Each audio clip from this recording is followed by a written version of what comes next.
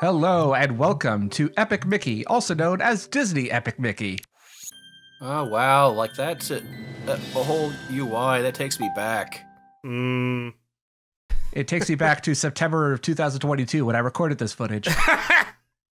Oh wow. Okay. This game is a third person action platformer developed by most of the creative talent from Ion Storm Dallas and Looking Glass Studios, including lead director Warren Spector, who worked on Deus Ex. Well, interesting. This has a pedigree. Very nice. There are definitely going to be interesting things happening. And joining me are PD Precious Roy Hello? and Blastinus. Howdy, howdy. A long time ago, on a very peculiar day, my mirror lured someone out of his bed, He said he could help him save money on his car insurance. opened a doorway to my workshop. Oh, this is cute. There's nothing sinister here. I do not know if the mirror was being mischievous or malicious. Oh, he's been red pilled. Oh, no. Mickey, don't start looking up QAnon. Curious Please don't. I know that a Q kind of looks like the shape of your ears, but please don't do it.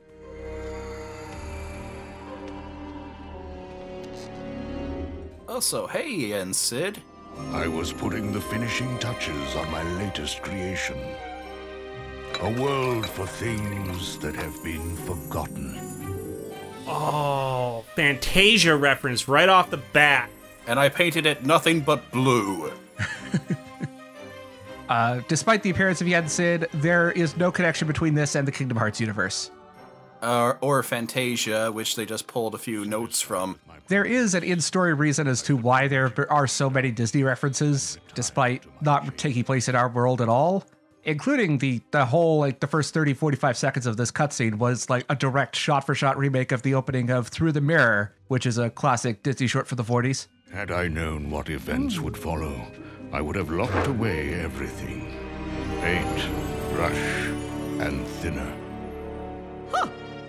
So, important lesson, kids: always clean up after your art projects, because otherwise you have like six-year-olds running around trying to eat paint. Or in this case, someone who really ought to know better. Like, where is Mickey at this point in his heroic development? And this is the thing: one of the goals of this game was to bring Mickey's personality closer to how it was in the classic shorts, where he was, you know, a well-intentioned prankster who didn't know when to stop fucking with things.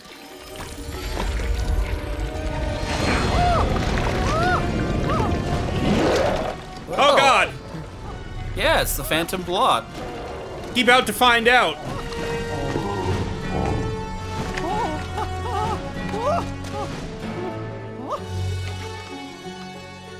Flawless. No one will ever know you were here. Oh yeah, per- the perfect crime. S-rank stealth mission, Mickey. Great job. I heard the noises and rushed to see what had happened. But I was too late. The world I had created was ravaged, a wasteland. The mysterious intruder was gone. I did not learn his identity. Well, not for a very long time.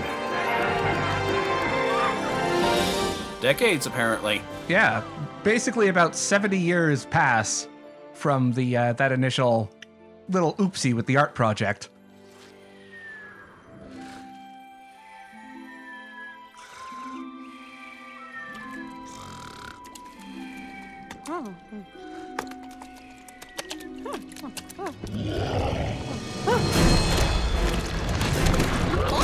So we are now officially in the find out portion.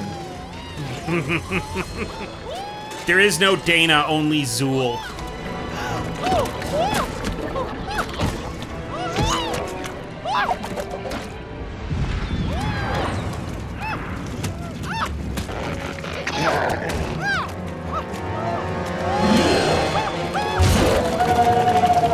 Oh wow, he's dead. Tragic. This is a pretty short game. So that's the opening cutscene. Welcome to Epic Mickey. Right off the bat, we're giving kids nightmares. I mean, I don't think that's gonna stop, but you know, At least they're setting a nice precedent.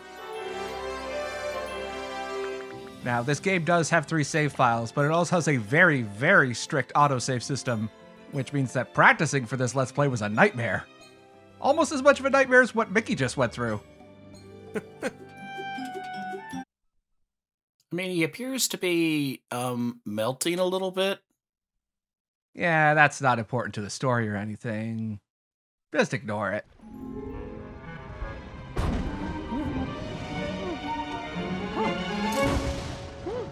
Florida, what's happened to you?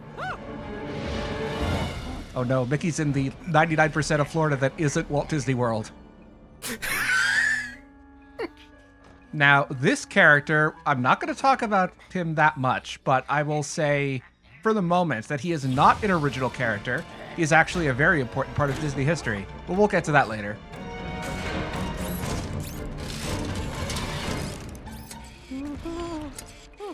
Oh, dang. Why is it gotta be like bloodshot on the sides? Get out the scissors. All right, get out the uh, get out the drill. I do like that it's a Swiss Army knife. Yeah. I think his surgery would be a lot more successful if he didn't keep getting bored all the time. Nah, we got to bring out the big guns for this. No, Mr. Bond. I expect you to die. Dang. Are you sure we can show this? Like, this is pretty hardcore stuff. This game is rated E10 plus. If it could get past the SRB, it could get past us and YouTube. But this might encourage kids to pull out people's hearts with plungers. It'll be an interesting anatomy lesson for them.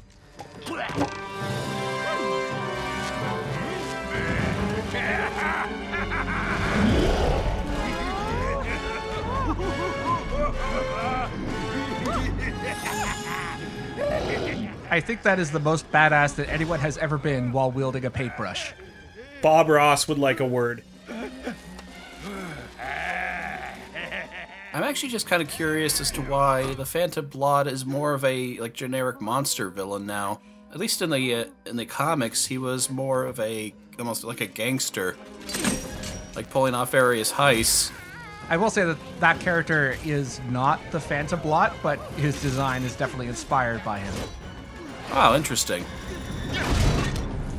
I'll be saying that phrase a lot. The inspired by and influenced by various parts of Disney history. Kind of combination of the Phantom Blot and Oogie Boogie from The Nightmare Before Christmas. For example, this guy is, well, he's not an obscure character himself, but he is based on an obscure part of Disney history.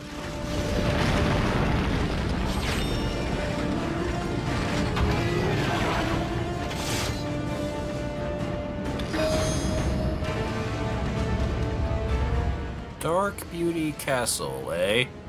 So, our first objective is to escape from this giant Swiss Army knife.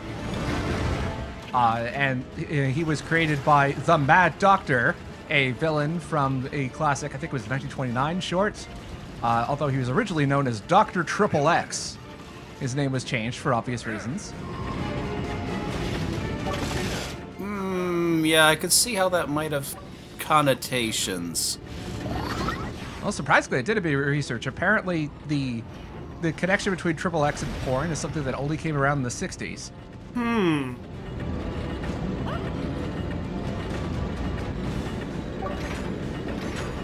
So this game is exclusive to the Nintendo Wii, so of course we've got motion controls. Most of the time it's done pretty well.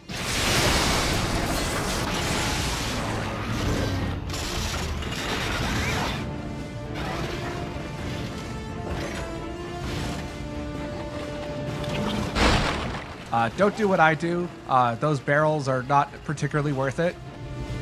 Uh, although this is really just an, an extended tutorial for basic movement. Yeah, this thing seems to be very fond of just kind of posing menacingly. Does it ever actually, you know, attack? Oh, well, that answers my question.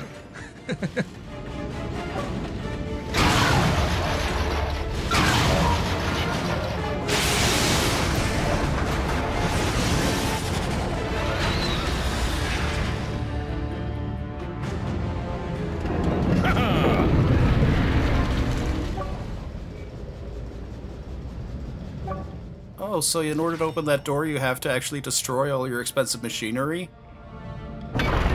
Yeah, it's it's where he keeps his uh, DC comics and stuff like that. Anything that's not owned by Disney. Got to stash them somewhere. This is Dark Beauty Castle, uh, the first area of the game. Although we can go down and explore this part. Now, there's a piece of collectible concept art over there. Normally, you have to exit the game and uh, go into a separate menu to view the concept art. But uh, in the interest of streamlining this Let's Play, I have provided uh, visual pop ups for your convenience, so every time we collect some concept art, you'll get to see it. And that's the rabbit we met earlier. That's Oswald. Apparently, the king likes to go out and do his own business. That's nice. It's always nice to see an active member of the monarchy. For sure. And in this chest over there is one of the other major collectibles in this game.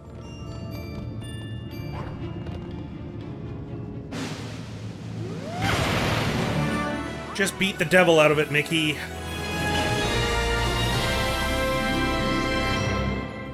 You collected ears? It is a collectible pin. Uh, for those of you who may not know, collecting and trading pins at the Disney theme parks is serious fucking business. So this is a nod to that hobby. Aha.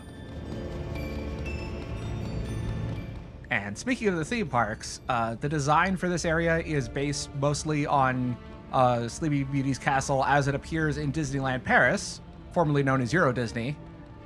Why are we wanting to harken back to that?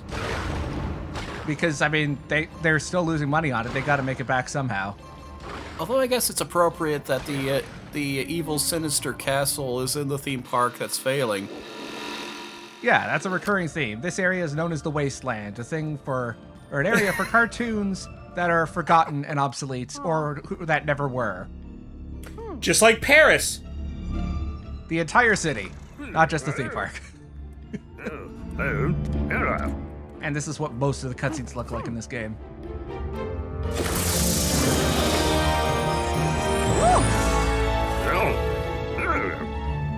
Very cool style.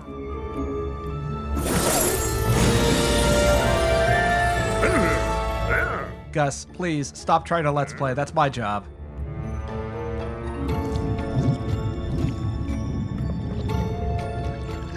Mm, mm. One surprise apparently is that yeah, we're we're kind of a little bit juicy. Yep, the uh, the drips that are coming off of Mickey there. Uh, when Mickey was dragged into the wasteland by the okay, his name is a Shadow Blot, uh, a variant on on the Phantom Blot. Uh, the two kind of merged. Uh, the Shadow Blot still exists, but uh, a bit of the Shadow Blot is stuck inside Mickey. So maybe there are a few Kingdom Hearts references. Something something light darkness. So, the magic paintbrush is the central mechanic of this game. You can either restore lost toon by painting it in, or you can remove uh, toon objects with thinner, which it, it kind of works like the dip from Who Framed Roger Rabbit.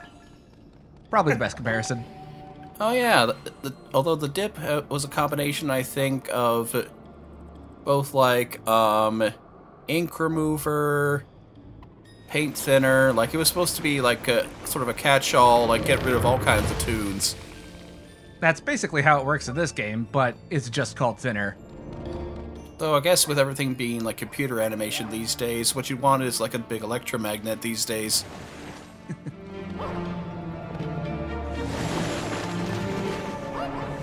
And uh, I I will say that the ability to restore or uh, to restore any of the walls or make them disappear at any time, uh, this game has a pretty notorious camera, which we'll see many examples of far, much later in the game. Uh, yeah, it's I I hate the camera too, but I at least understand why it's so terrible. It, it's a Wii game. It's par for the course. Yeah.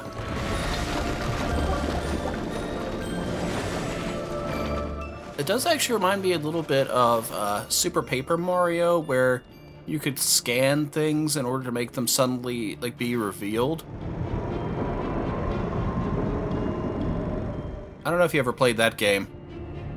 I I have it, and I played a bit of it years ago. I think it, I think the furthest I got was the uh, the part where you had to run, uh, where you had to run around in a ball uh, to to pay back a debt of some sort. I remember that. Yeah, that was that was pretty fun. Oh. Yeah. Huh. So already this is another one of those quirky Wii titles, huh? Hmm. One hmm.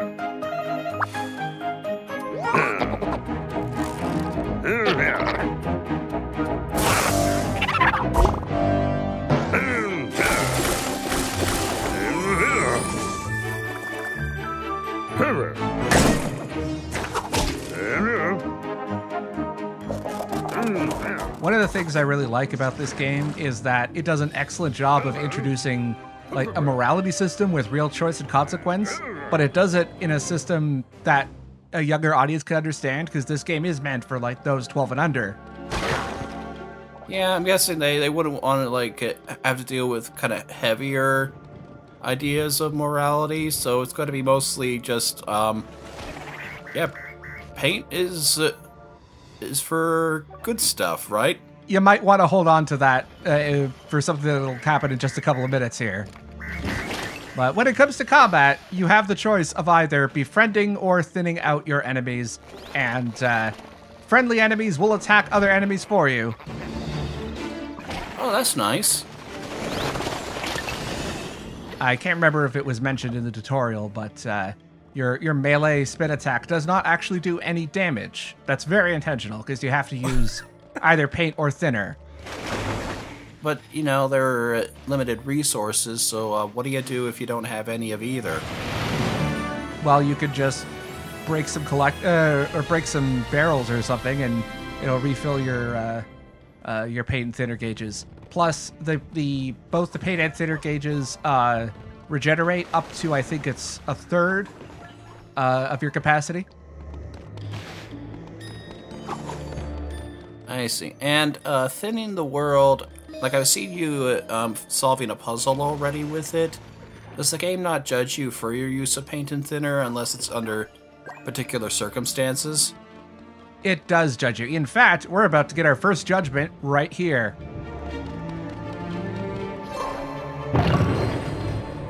Just in case you forgot, the Warren Spector worked on this game.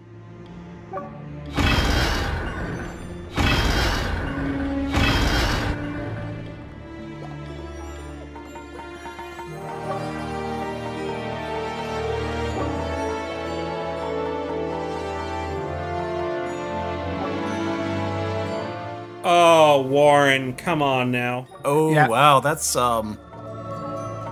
Well, I mean, e-tickets are pretty expensive. I don't know. I mean, we could save this gremlin, but that chest over there has 50 e-tickets. That's a lot in the early game. Well, I mean, just a lot, a lot in general. Like, you've seen park prices. You're telling me Mickey Mouse doesn't have a lifetime pass? Well, this is Wasteland. He's a visitor here. But anyway, yeah, I gotta go for the money. Goodbye, Calvin.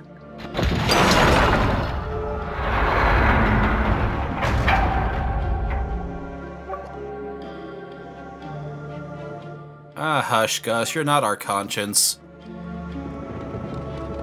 You're a pretty shitty conscience. All you're teaching me, Gus, is good people will go through life poor.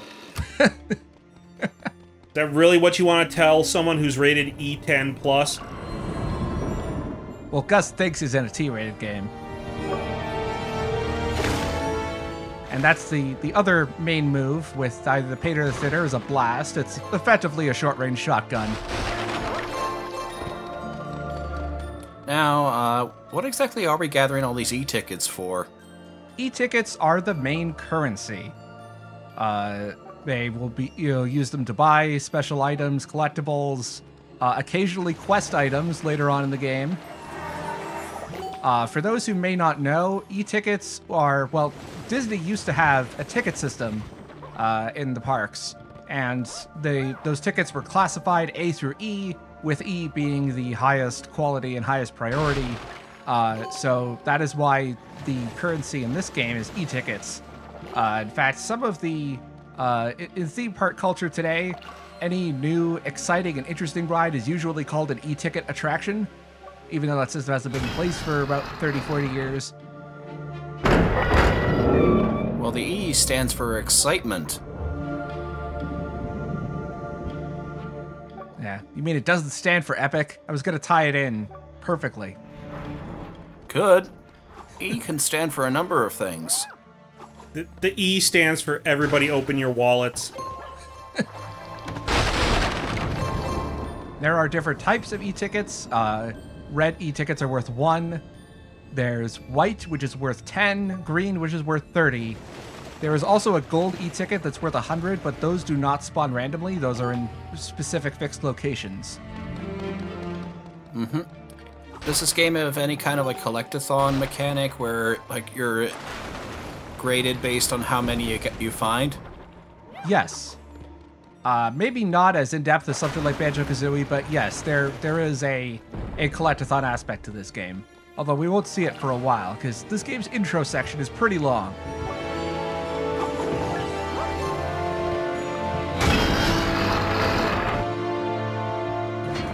Now every time you spin, like that's waggle, right?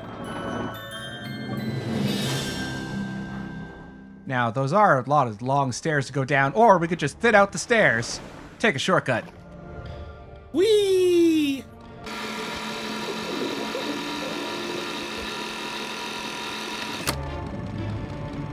But hmm, what's the screen doing over here? Well, it looks like product placement. I can't believe whoever developed this game let Disney have product placement all over. It's shameful.